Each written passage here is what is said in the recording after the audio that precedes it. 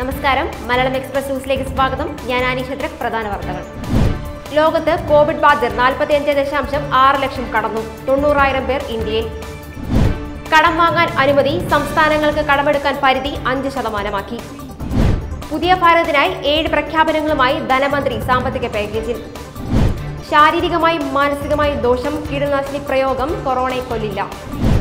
അതിഥി തൊഴിലാളികളുടെ ദുരന്തങ്ങൾക്ക് കാരണം സംസ്ഥാന സർക്കാരെന്ന് കേന്ദ്രമന്ത്രി. വാർത്തകൾ വിശദമായി. ലോകത്ത് കോവിഡ് ബാധിതരുടെ എണ്ണം നാൽപ്പത്തിയഞ്ച് ദശാംശം ആറ് ലക്ഷം കടന്നു. ഇന്ത്യയിലെ കോവിഡ് രോഗികളുടെ എണ്ണം തൊണ്ണൂറായിരം കടന്നു. തൊണ്ണൂറായിരത്തി തൊള്ളായിരത്തി ഇരുപത്തിയേഴ് പേർക്കാണ് ഇതുവരെ രോഗം ബാധിച്ചത്. ഇരുപത്തിനാല് മണിക്കൂറിനിടെ നാലായിരത്തി തൊള്ളായിരത്തി എൺപത്തിയേഴ് പുതിയ കേസുകളാണ് റിപ്പോർട്ട് ചെയ്തത്. മരണസംഖ്യ രണ്ടായിരത്തി എണ്ണൂറ്റി എഴുപത്തിരണ്ടായി മഹാരാഷ്ട്രയിൽ രോഗം ബാധിച്ചവർ മുപ്പതിനായിരത്തി എഴുന്നൂറ്റി ആറാണ് ലോകത്താകെയുള്ള കോവിഡ് രോഗികളുടെ എണ്ണം നാൽപ്പത്തഞ്ച് ദശാംശം ആറ് ലക്ഷം പിന്നിട്ടു. മരണസംഖ്യ മൂന്ന് ലക്ഷത്തി ആറായിരം കടന്നു. യു എസിൽ ആയിരത്തി ഇരുന്നൂറ്റി മുപ്പത്തേഴ് പേർ ഇരുപത്തിനാല് മണിക്കൂറിടെ രോഗം ബാധിച്ചു. കടം വാങ്ങാൻ അനുമതി സംസ്ഥാനങ്ങൾക്ക് കടമെടുക്കാനുള്ള പരിധി അഞ്ച് ശതമാനമാക്കി. സംസ്ഥാനങ്ങളുടെ കടമെടുപ്പ് പരിധി മൂന്നിൽ നിന്നും അഞ്ച് ശതമാനമായി ഉയർത്തി. കേരളമടക്കമുള്ള സംസ്ഥാനങ്ങളുടെ ആവശ്യം പരിഗണിച്ചാണ് കടമെടുപ്പ് പരിധി കേന്ദ്രം ഉയർത്തിയത്. ഇരുപത് ലക്ഷം കോടിയുടെ സാമ്പത്തിക പാക്കേജ് പ്രഖ്യാപനത്തിൽ ധനമന്ത്രി നിർമ്മല സീതാരാമാണ് ഇക്കാര്യം അറിയിച്ചത്. കടമെടുപ്പ് പരിധി ഉയർത്തിയതോടെ സംസ്ഥാനങ്ങൾക്ക് നാല് ദശാംശം രണ്ട് എട്ട് ലക്ഷം കോടി രൂപയാണ് അധികമായി ലഭിക്കുക.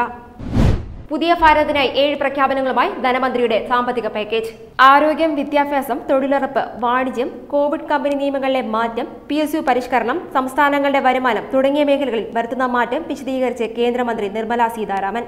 പ്രധാനമന്ത്രി നരേന്ദ്രമോദി പ്രഖ്യാപിച്ച മെഗാ സാമ്പത്തിക ഉത്തേജക പാക്കേജിന്റെ അവസാനഘട്ടം വിശദീകരിക്കുകയായിരുന്നു മന്ത്രി. ശാരീരികമായും മാനസികമായ ദോഷം കീടനാശിനി പ്രയോഗം കൊറോണയെ കൊല്ലില്ല.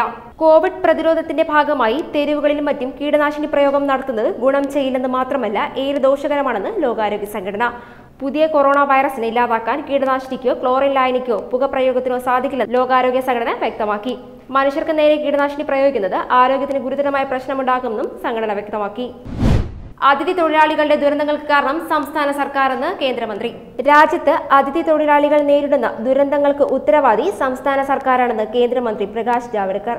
പ്രതിരോധ മേഖലയിലെ വിദേശ നിക്ഷേപ പരിധി ഉയർത്തിയതും തൊഴിലവസരങ്ങൾ സൃഷ്ടിക്കും. കോവിഡ് പ്രതിസന്ധി അവസരമാക്കി മാറ്റാമെങ്കിൽ സ്വകാര്യവൽക്കരണം അനിവാര്യമാണെന്നും പ്രകാശ് ജാവ്ദേക്കർ പറഞ്ഞു.